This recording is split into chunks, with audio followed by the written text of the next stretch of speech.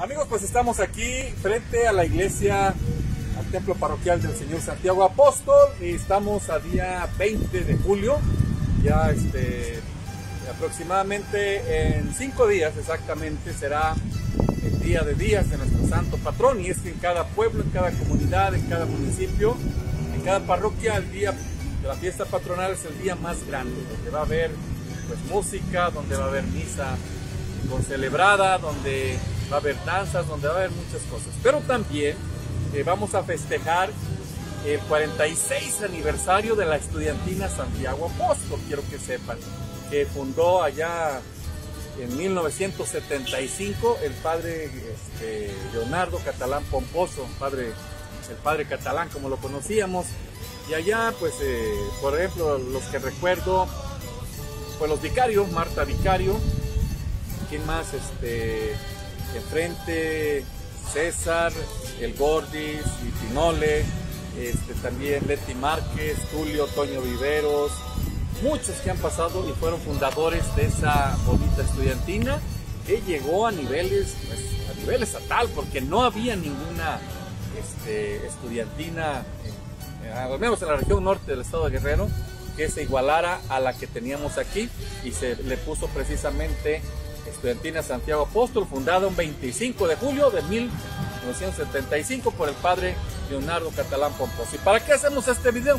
Pues para que a ver si las personas que nos estén viendo nos manden fotografías. Vamos a hacer un pequeño video, vamos a recopilar información y fotografías de esa estudiantina.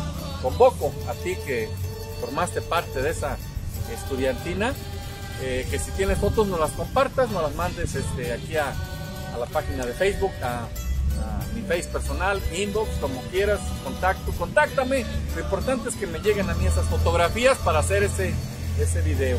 También la información, eh, si a través de los años, porque hasta hoy en día sigue esa estudiantina, de los integrantes. ¿Te acuerdas de los integrantes que fundaron esa estudiantina?